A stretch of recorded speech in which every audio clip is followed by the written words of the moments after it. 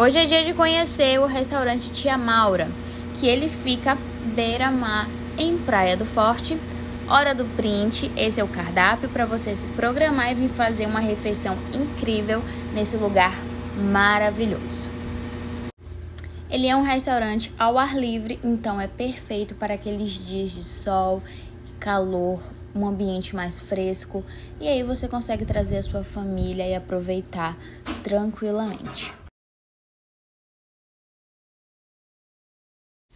A gente pediu uma moqueca de peixe para duas pessoas, mas eu garanto a vocês que serve muito mais que duas pessoas. Ela estava deliciosa e olha como é caprichada, gente. Sério, não temos do que reclamar.